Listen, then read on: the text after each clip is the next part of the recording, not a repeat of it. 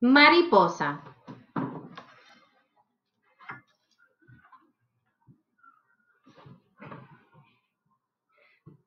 Mariposa. Texto de Moira Butterfield. Ilustraciones de Paul Johnson. Mariposas. Una mariposa hembra pone sus huevecillos debajo de una hoja. Los huevecillos son diminutos.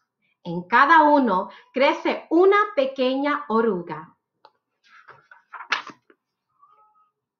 Cuando la oruga está lista para salir, hace un agujero en su capullo y se escabulle con gran esfuerzo. La oruga está hambrienta, como muchas hojas, y crece más.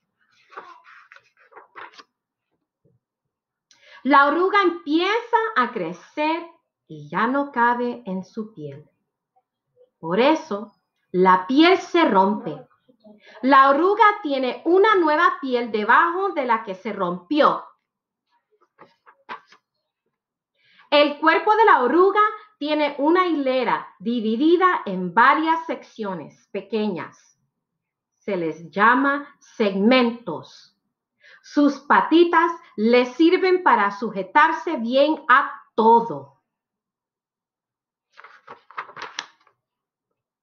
Cuando la oruga crece lo suficiente, deja de comer y se posa en una rama o en una hoja usa su pegajoso hilo de seda como ancla. La vieja piel de la oruga se rompe. Adentro hay un nuevo cuerpo. Lo cubre un suave saco llamado crisálida.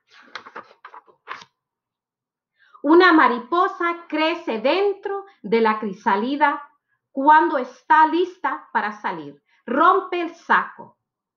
La nueva mariposa se queda quieta un rato hasta que está lista para volar. Prueba sus alas y vuela a una flor con el dulce néctar que hay dentro. Un día esta mariposa también pondrá sus huevecillos de los que crecerán nuevas orugas.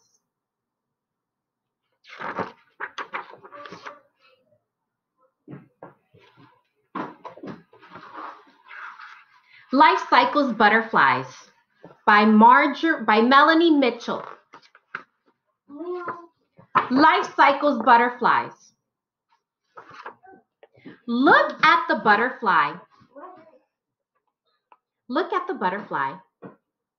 There are many kinds of butterflies. A butterfly is an insect like an ant or a bee. How does a butterfly grow?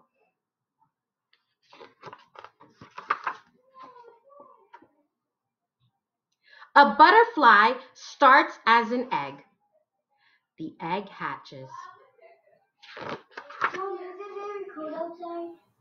Now it is a caterpillar. The caterpillar eats a lot. The caterpillar grows bigger and bigger. One day it makes a chrysalis.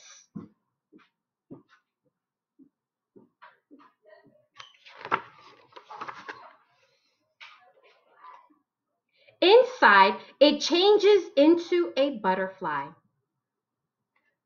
The butterfly is ready to come out.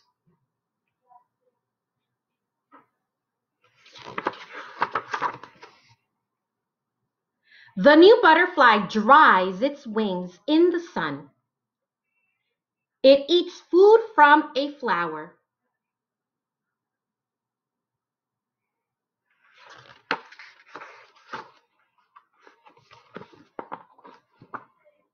The new butterfly goes to a warm home. It is fun to watch a butterfly grow. Now these are parts of a butterfly.